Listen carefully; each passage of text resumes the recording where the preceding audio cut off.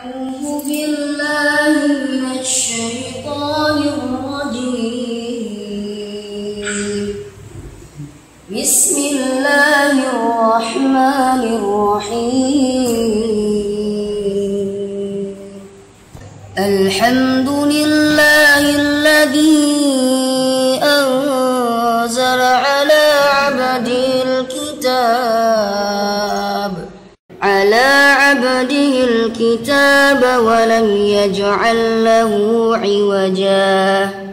قيما لينذر بأسا شديدا من لدن ويبشر المؤمنين.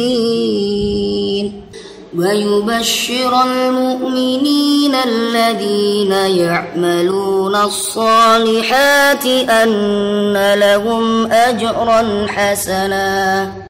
ماكثين فيه أبدا. وينذر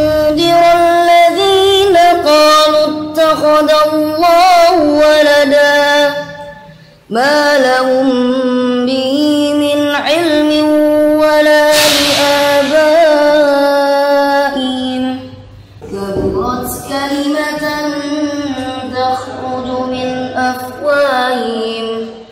إن يقولون إلا كذبا. فلعلك باخع نفسك على آثارهم إن لم يؤمنوا إن لم يؤمنوا بهذا الحديث أسفا. صدق الله العظيم.